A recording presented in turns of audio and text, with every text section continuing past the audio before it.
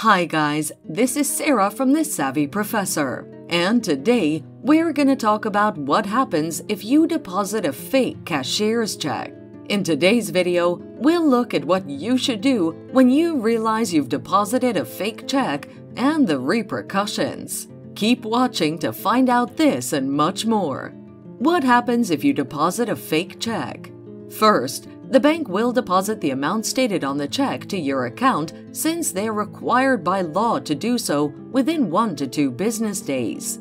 This time is usually insufficient for the bank to ascertain the authenticity of the check you deposited. If the bank finally finds out that the check is fake and that you've already withdrawn the amount for the account credited, the bank will debit the amount on the check to your account. Otherwise, if the amount is still in your account, the bank will deduct it. Repercussions of depositing a fake check. Paying back the amount deposited. This is the first thing to happen after your bank realizes you deposited a fake check. If you still have the amount in your account, the bank will return it. The bank may freeze your account. This is part of the law that allows banks to close accounts involved in fraudulent activities. This is done to stop future scamming.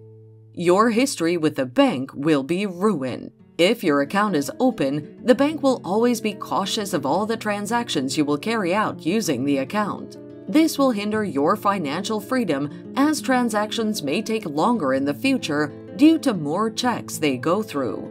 Jail time when the amount of money the check was written for is too much, or the state you live in doesn't allow the cashing in of fake checks, you might be in for a lawsuit that may lead to you being sent to prison. So, there you have it. Depositing fake cashier's checks can have serious consequences. Hence, be very careful about the checks you deposit. Thanks for watching.